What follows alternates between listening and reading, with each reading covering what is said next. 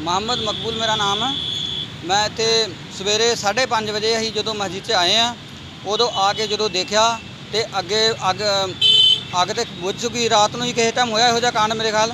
ਤੇ ਉਹ ਸਾਰਾ ਸੜਿਆ ਹੋਇਆ ਸੀ ਜਿਹੜੀ ਬੋਤਲ ਦੇ ਟੁਕੜੇ ਜਿਹੜੇ ਅੱਗ ਲੱਗ ਕੇ ਜਿਹੜੇ ਉਹਨਾਂ ਬਹੁਤ ਬੰਮ ਮਾਰੀ ਸੀ ਉਹ ਸਾਰਾ ਖਲਾਰ ਪਿਆ ਸੀ। ਫਿਰ ਬਾਅਦ 'ਚ ਅਸੀਂ ਮੁਲਾਜ਼ਮ ਨੂੰ ਫੋਨ ਕੀਤਾ ਉਹ ਫਿਰ ਮੁਲਾਜ਼ਮ ਮੌਕੇ ਤੇ ਆਏ ਨੇ ਉਹ ਵੇਖ ਗਏ ਨੇ। ਕਿਹੜੀ ਜਗ੍ਹਾ ਹੈਗੀ ਇਹ ਜਗ੍ਹਾ? ਇਹ ਛਾਟਾ ਮਸਜਿਦ ਦੀਨ ਮੁਹੰਮਦ। ਅਸੀਂ ਮੰਗ ਕਰਦੇ ਸਾਨੂੰ ਇਹਦਾ ਇਨਸਾਫ ਚਾਹੀਦਾ। ਜਿਸ ਸੀਸੀਟੀਵੀ ਕੈਮਰੇ ਲੱਗੇ ਆ ਜੀ? ਕੈਮਰੇ ਲੱਗੇ ਸੀ ਆ ਰੰਗ ਪੇਂਟ ਕਰਕੇ ਥੋੜਾ ਜਿਹਾ ਲਾਇਆ ਗਿਆ ਸੀ ਤੇ ਉਹ ਦੁਬਾਰਾ ਅਸੀਂ ਲੱਗਣ ਨੂੰ ਸੋਚ ਰਹੇ ਸੀ ਕਿ 2-4 ਦਿਨਾਂ ਤੱਕ ਲੱਗ ਜਾਣਗੇ। ਪੁਲਿਸ ਆਈ ਪੁਲਿਸ ਦਾ ਕੀ ਕਹਿਣਾ ਹੈ?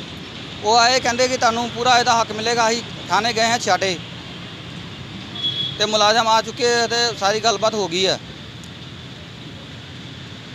ਆਪਣਾ ਨਾਮ ਦੱਸ ਕੇ ਤੇ ਕੀ ਹੋਇਆ ਜੀ ਮੇਰਾ ਨਾਮ ਮਾਨਿਕ मैं all Muslim welfare society India का प्रधान हूँ छियाटे मस्जिद का भी प्रधान हूँ ਤੇ ਛਿਆਟੇ ਮਸਜਿਦ ਤੋਂ ਮੈਨੂੰ ਫੋਨ ਆਇਆ ਸੀ ਸਾਢੇ ਛੇ ਵਜੇ ਸਵੇਰੇ ਤੇ ਸਾਡਾ ਨਮਾਜ਼ ਪੜ੍ਹਨ ਵਾਲਾ ਨੇ ਦੱਸਿਆ ਜੀ ਮਸਜਿਦ ਤੇ ਕਿਸੇ ਨੇ ਅੱਗ ਲਾਉਣ ਦੀ ਕੋਸ਼ਿਸ਼ ਕੀਤਾ ਹੈ ਤੇ ਤੁਸੀਂ ਜਲਦੀ ਮਸਜਿਦ ਤੇ ਪਹੁੰਚਾਓ ਤੇ ਔਰ ਪ- ਪ- ਥਾਣੇ 'ਚ ਵੀ ਤਲਾ ਦੇ ਦਿਓ ਮੈਂ ਮ- ਥਾਣੇ ਇੰਚਾਰਜ ਉਹਨੂੰ ਕਾਲ ਕੀਤਾ ਸੀ ਉਹਨਾਂ ਨੇ ਮੁਲਾਜ਼ਮ ਭੇਜ ਦਿੱਤਾ ਮੁਲਾਜ਼ਮ ਭੇਜਣ ਤੋਂ ਬਾਅਦ ਸਾਡੀ ਭਾਈਚਾਰਾ ਸਾਰੇ ਇਕੱਠਾ ਹੋ ਕੇ ਥਾਣੇ ਆਇਆ ਸੀ ਤੇ ਇਸ ਏਸੀਪੀ ਸਾਹਿਬ ਵੀ ਆਇਆ ਸੀ ਉਹਨਾਂ ਨੇ ਕਿਹਾ ਜੋ ਵੀ ਇਹਨਾਂ ਦੇ ਖਿਲਾਫ ਕਾਰਵਾਈ ਬਣਦਾ ਕਾਰਵਾਈ ਕਰ ਦੇ ਤੇ ਇਹਨਾਂ ਨੇ ਪਰਚਾ ਦਰਜ ਕਰਤਾ ਅਨਪਸੰਦ ਦਾ ਬੰਦੇ ਦਾ।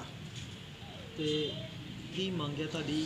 ਸਾਡੀ ਮੰਗ ਇਹੋ ਹੀ ਆ ਜੋ ਵੀ ਬੰਦਾ ਹੋਵੇ ਇਹਨਾਂ ਨੂੰ ਲੈ ਕੇ ਕਾਰਵਾਈ ਕਰਕੇ ਜੇਲ੍ਹ 'ਚ ਸੁੱਟੀ ਜਾਵੇ। ਸੀਸੀਟੀਵੀ ਫੁਟ ਤੁਹਾਡੇ ਸੀਸੀਟੀਵੀ ਲੱਗੇ ਉੱਥੇ? ਲੱਗਾ ਜੀ। ਉਹਦੇ ਚ ਆਇਆ ਕੁਝ ਉਥੇ ਉਹਦਾ ਜੇ ਪਤਾ ਨਹੀਂ ਲੱਗਾ ਜੀ। ਸੀਸੀਟੀਵੀ ਫੁਟੇਜ ਚ ਕੁਝ ਪਤਾ ਲੱਗਾ ਕਿੰਨੇ ਬੰਦੇ ਸੀ ਕੌਣ ਸੀ? ਨਹੀਂ ਨਹੀਂ ਇਹ- ਇਹਦੇ ਬਾਰੇ ਸਾਨੂੰ ਨਹੀਂ ਪਤਾ ਤੇ ਦੂਜੇ ਅਹ, ਕੈਮਰਾ ਚੈੱਕ ਕਰਨ ਡਿਆ। ਐਸਆਈ ਸਾਹਿਬ ਰੂਪਲਾਲ ਜੀ ਆ। ਜੋ ਵੀ ਕਾਰਵਾਈ ਹੋਗਾ ਇਹਨਾਂ ਨੇ ਕਹਿੰਦਾ ਅਸੀਂ ਕਰ ਦੇਣਾ। ਹਾਂਜੀ ਸਰ ਥੋੜਾ ਮਸਜਿਦ ਦਾ ਮਸਲਾ ਉਹਦੇ ਵਿੱਚ ਕੀ ਕਹਾਂ ਇਹਦੀ ਹੁਣ ਸਵੇਰੇ ਇਤਲਾਹ ਮਿਲੀ ਸੀਗੀ ਸਾਨੂੰ ਉੱਥੋਂ ਮੌਲਵੀ ਸਾਹਿਬ ਵੱਲੋਂ। ਵੀ ਸਵੇਰੇ ਜਦੋਂ ਉਹਨਾਂ ਨੇ ਨਮਾਜ਼ ਪੜ੍ਹਨ ਲਈ ਜਦੋਂ ਉੱਥੇ ਮਸਜਿਦ ਖੋਲੀ ਸੀ ਤੇ ਉੱਥੋਂ ਕੁਝ ਕੋਈ ਲੱਗਦਾ ਸੀ ਵੀ ਕੋਈ ਬੋਤਲ ਜਿਵੇਂ ਪੈਟਰੋਲ ਦੀ ਜਾਂ ਕੈਰੋਸਿਨ ਦੀ ਭਰ ਕੇ ਤੇ ਉੱਥੇ ਕਿਸੇ ਦੀ ਸ਼ਰਾਰਤੀ ਅਨਸਰ ਨੇ ਕਿਸੇ ਦੀ ਮਾਰੀ ਗਈ ਹੈ।